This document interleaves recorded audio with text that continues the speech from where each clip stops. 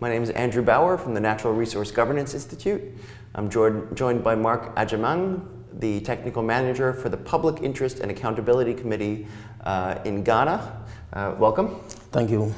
Uh, so Ghana has undergone a lot of uh, uh, different, different events, let's say, in, in, the, in the last few years. Yes. Uh, oil was discovered, but oil money started to be spent even before Yes. the, the oil started flowing. Yes. Uh, and now uh, there's a, let's say, a fiscal crisis Yeah. going on in Ghana. I was wondering if you could just share with us a little bit uh, of your experiences and, and wh- what are the big challenges that Ghana is facing in managing its oil, gas, and, and mining revenues? Thank you very much for having me, Andrew.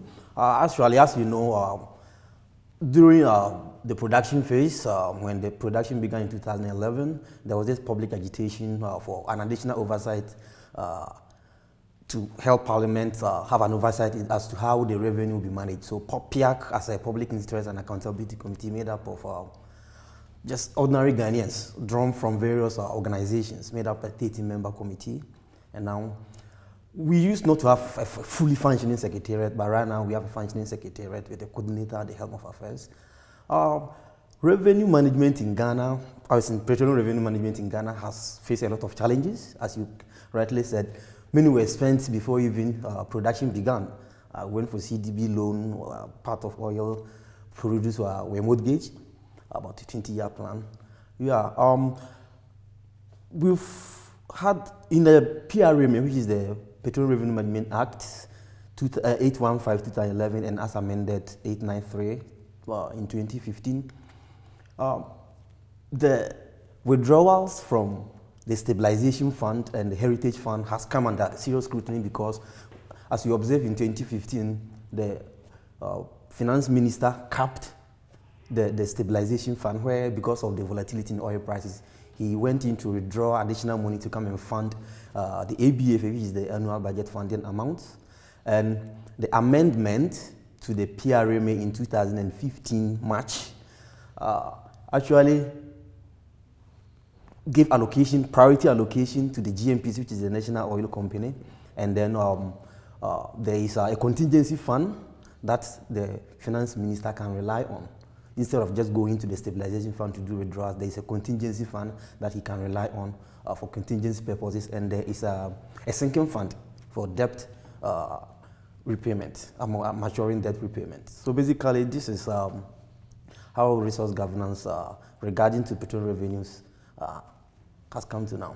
And, and there's been, I understand, a lot of controversy about around that, right?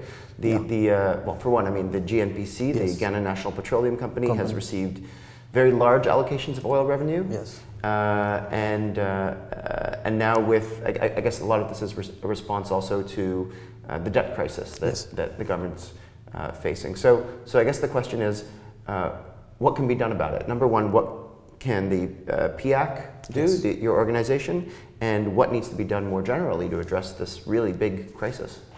Okay, thank you. Uh, currently, GNPC, as I said, per the amended Act 893, has been given a priority allocation. They have to be given allocation before even it goes into the petroleum holding funds for distribution to the other areas.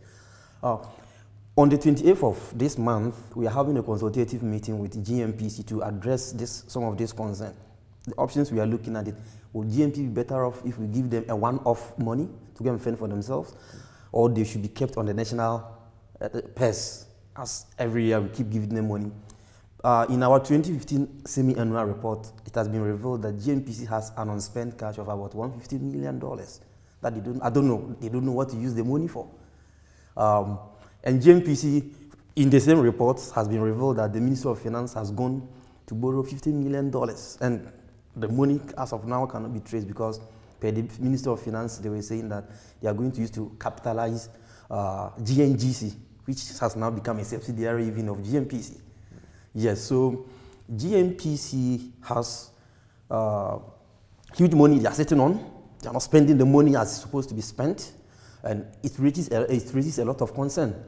Uh, the works of GNPC as an NOC, public, a lot of public has raised concern as to even if they are open for value for money audit of their projects.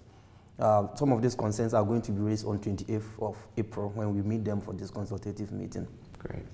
Uh, I mean, going forward, there's, a, there's an election coming up in Ghana? Yeah, right? 7th November. Um, how can, is oil going to be an issue? Or, and is managing of oil revenue going to be an issue? And, and, uh, and what can be done to sort of raise the profile of these really important issues?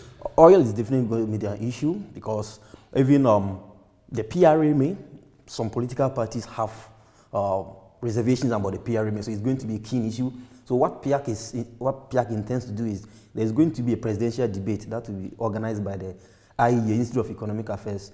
We are going to work hand in hand with them to frame the questions in such a way that it will be a broad-based question where our interest as a public accountability institution will be captured in some of these questions, where the, both all the parties, about seven political parties, all of them will have a contribution in the way forward.